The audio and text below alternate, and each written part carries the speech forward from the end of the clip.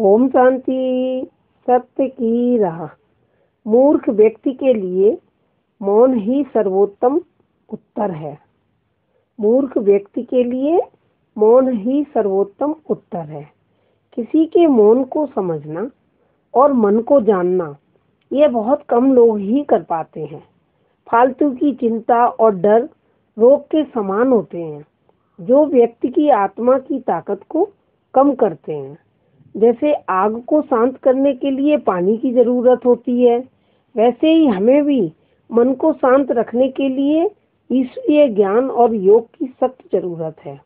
इसलिए हम सबको नियमित रूप से यह अभ्यास करते रहना चाहिए।